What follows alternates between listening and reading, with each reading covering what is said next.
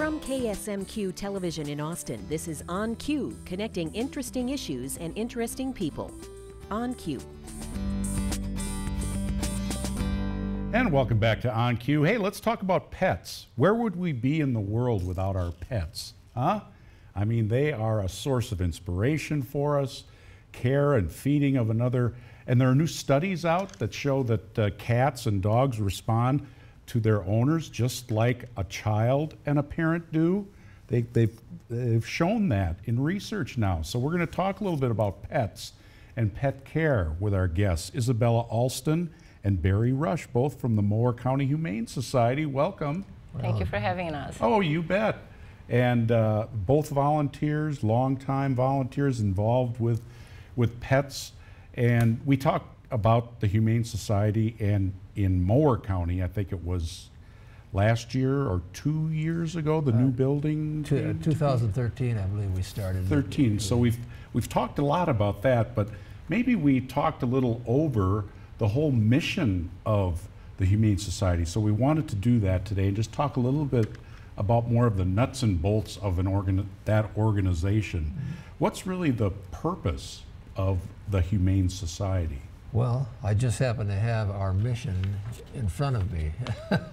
but uh, we, we, our mission is to provide food, vet care, uh, and shelter to all the homeless animals in the Mower County area.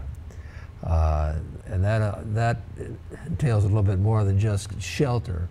We also provide uh, uh, getting these animals prepared for adoption uh, try to socialize them, try to uh, make them feel comfortable with people. Um, and side, uh, side parts of our mission are to help educate local citizens in the responsibility of pet ownership, uh, getting their uh, pets spayed and neutered, uh, making sure that they have ID tags, making sure that they're protecting them against ticks and other varmints.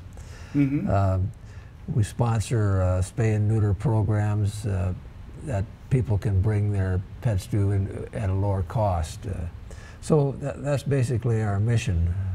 And Isabella, this is uh, it, it's something uh, at least my family members who are involved. It's more it's volunteering, but it's really a, a, labor of love. They, they love working with animals. How did you become involved? Absolutely.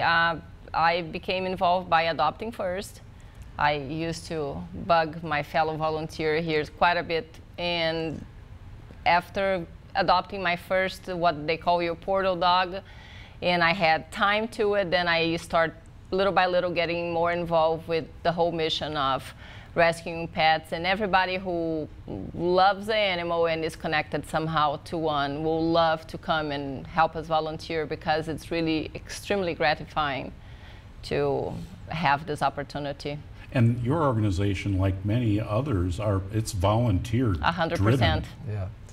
Uh, we we have uh, we have now in Austin, Minnesota, with this new shelter. This is a large shelter, 9,000 square feet, and we have 180 animals housed there.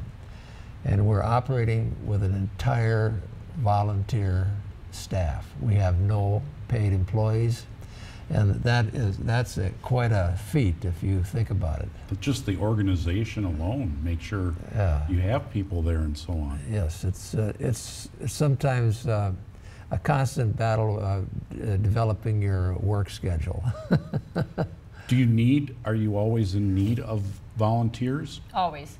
Always. Do yes. they have to know what, what kinds of experiences do they have to have? We are open to any volunteer. Even the ones who don't have any experience prior, they will come along as they observe the older volunteers, they're more seasoned volunteers. There's always something new to learn as a volunteer. I mean, I'm one of the youngest volunteers from my group on, on the dog side, and I learned so much in the past 40 years and so there's always a need and we are open to have as many volunteers as we can and uh, it, you don't need to have any experience with animals but just the will to, to volunteer your hours and yeah. help. It's uh, on the dog side there there's a Well, and the cat side too. There's a there's a great need to uh, to come on a regular basis if you're volunteering. If it's once a week, for for two or three hours once a week, or uh, if uh, several times a week, but come on a regular basis so you can get to know the animals. You've got to on the cats. They've got uh, hundreds of cat, uh, 150 cats out there, so I suppose you, it's more difficult to get to know each one, but uh, on the dog side, it's very important for us to develop an, uh, you know, a, a um, relationship. relationship with these each To help them dog. first learn how Yeah, to be around people and so Yeah, on. that's right, and uh, understand which dogs uh, can be handled this way, and which dogs can be handled that way, and which dogs get along with each other, and which dogs don't. We're talking to Barry Rush and Isabella Alston of the Mower County Humane Society. Uh, Isabella, how do animals even end up at a shelter? Many ended up by being picked up in the city by the pound. Um, they are mostly strays or dogs that just took a joyride, and those are the lucky ones that oftentimes get claimed before they even ended up in the Humane Society. Um, they're the sad surrenders because I believe that everybody who has to surrender a pet will have a hard time, and um, there are many scenarios that can make a pet homeless. It's not much different than what some humans go through when they lose their shelter. They need a place that they can rely, and that's where we try to fill in the need for the homeless and stray animals that we come across. The, about 80% of our dogs come from the city pound. The, the, pat, the, the system works like this. Uh, if a community, if a dog is running or a cat is running astray in the city of Austin, uh, then uh, somebody notifies the police, a community services officer picks up that cat or, or dog, takes it to the pound, where it's uh, by city ordinance it is supposed to be uh, give. They're supposed to be hol- held for 10 days, giving the any owner a chance to claim that animal. If they if they don't claim it after 10 days, then the city is free to euthanize that animal. However, that's where we step in. When, if there, no owner claims the dog or cat, we take That's where you come that, in. yeah, we take that animal over to our facility where we give it uh, a vet check, we uh, socialize it, uh, prepare it for adoption. So a lot of cooperation with the city. We have about a minute Yeah. left. Talk about the walkathon. That's an important activity for Yes, your organization. Isabella is going to be The the, walkathon is coming up this September. is one of the many fundraisers that we do through the year. Is uh, the one that we do in the end of the summer, and uh, we welcome everybody who adopt a pet from us to bring your dog to walk and make a movement and make the city of Austin really aware of the need that we have to adopt and to be more responsible as pet owners. So. They don't have to end up in the Humane Society or in the city. So it's a Facility. fundraiser or Yes, just a it's- walk? no, it's a fundraiser. The people go out and they and they solicit pledges from people. oh, okay. and- Tho- that kind of yeah, thing. and uh, Okay. it's, it's our largest fundraiser. Yes. You're you're also uh, have a silent auction, yard sales. Yeah.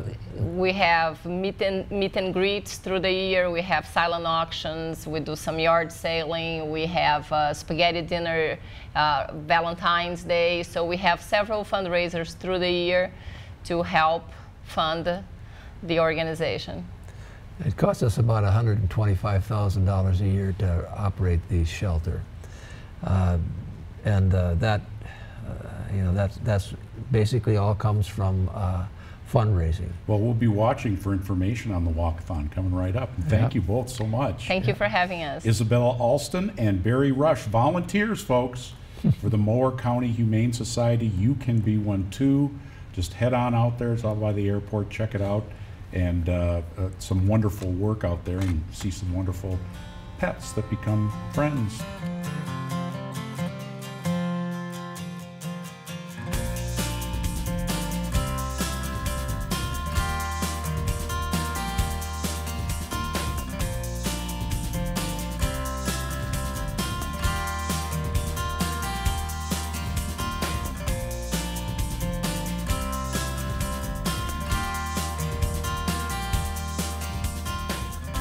On Q is a production of KSMQ Television in Austin, nonprofit public television.